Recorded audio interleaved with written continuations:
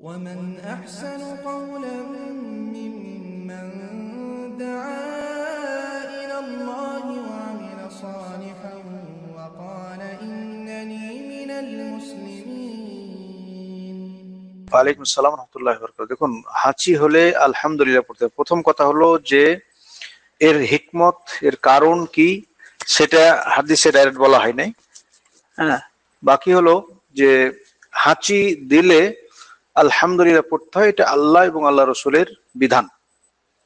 আল্লাহ আল্লাহ রসুলের বিধান হলো, যে তোমরা যখন হাঁচি দেবে, এই যে আতেশা যখন কোনো ব্যক্তির ছিক আসবে, তো ফালি আহমদুল্লাহ সে যেন আল্লাহর প্রশংসা করে।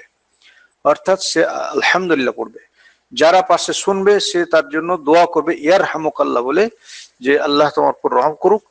আর সে ব্যক্তি আবার তার জন্য দোয়া করবে ওয়াহাদি কুমুল্লাহ ইসলাহ আলাকুম যে আল্লাহ তালা তোমাদের হেদায়ত দান করুক, সঠিক পথ দেখান এবং তোমাদের অবস্থাগুলোকে সঠিক করে দেন। এইভাবে এই তিনটে জিনিস হাসির বিষয়ে হাদিসে এসেছে। এখন হৃৎপিণ্ড বন্ধ হয়ে যাওয়ার কারণে আবার ফিরে এসেছে, মৃত্যু হয় নাই বলে তাকে আলহামদুলিল্লাহ পড়তে হবে। এটা কারণ বলতে পারেন আপনি। কিন্তু এটা এটাই হতে হবে জরুরি এটা আল্লাহ আল্লাহ এবং আল্লাহ রসুলের বিধান যে কারোর যে হাঁচি হয়, তাহলে হাঁচির জন্য তাকে এই দোয়া পড়তে হবে। আলহামদুলিল্লাহ, বাস আপনার, আমরা আল্লাহর বিধান অনুযায়ী এই কাজটা করব। আলহামদুলিল্লাহ, পড়তে আমাদের যে